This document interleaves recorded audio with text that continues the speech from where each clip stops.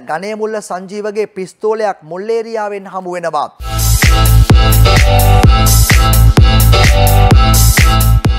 ප්‍රදී ප්‍රසන්න සමරකෝන්ගේ සටහන සවිධානාත්මක අපරාධ කල්ලි සාමාජිකයෙක් වන සංජීව කුමාර හිවත් ගණයමුල්ල සංජීව භාවිතා කළ බවට සැක කරන පිස්තෝලයක් සහ ඒ සඳහා භාවිතා කරන පතරොම් ගැබක් බස්නායර පළාත් උතුර අපරාධ කොට්ටාශය විසින් සොයාගෙන තිබෙන බවයි දිවෙන පුවත්පතේ ප්‍රධාන වාර්තාවේ සඳහන් කරන්නේ රැඳවුම් නියෝග මත ගම්පහ වීරගුල පොලිසිය රඳවාගෙන ප්‍රශ්න කරන ගනේ මුල්ල සංජීවගේ ප්‍රකාශ වලින් පසුව මේ පිස්තෝලය මුල්ලේරියාව කැලෑබද ප්‍රදේශයක සඟවා තිබියදී සොයාගත් බව එම කොට්ටාශය ස්ථහන් කර තිබෙනවා. ඒ දිවයින පුවත්පතේ වාර්තාව ඒ ගනේ මුල්ල සංජීව මේ හරක් කටා CIDෙන් පන්නන් හැදූ මෙදිගම චූටි සහ ජිලේ මැලේසියාවේදී අත්අඩංගුවට පත් වෙලා තිබෙනවා.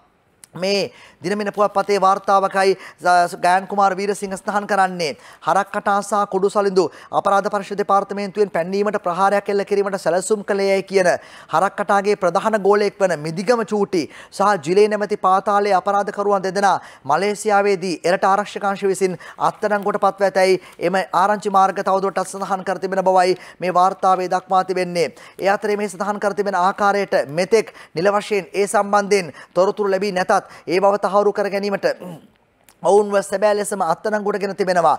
මෙරටට පිටුහල් කර ගැනීමටත් අවශ්‍ය කටයුතු සිදු කරන බවයි උසස් පොලිස් නිලධාරිය සඳහන් කරන්නේ. මොවුන් දෙදෙනාව මලේසියාවේදී එරට ආරක්ෂකාංශ විසින් අත්අඩංගුවට පත් වී තිබෙන බව පැවසෙන්නේ පෙරේදා.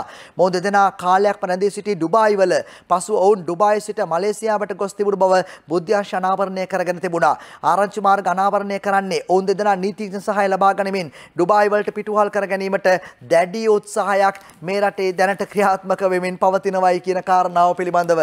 ඉනිසා ජිලේ නැමැත්තා කොටිකාවත්ත මුල්ලේරියා ප්‍රාදේශීය සභාවේ ශ්‍රී ලංකා පොදුජන පෙරමුණේ මන්ත්‍රු සුමුදු රුක්ෂාන් මහතාට වෙඩි තබා ඝාතනය කිරීම ඇතුළු මිනිස් ඝාතන රැසක් සම්බන්ධයෙන් චෝදනා එල්ල වී සිටින්නේ.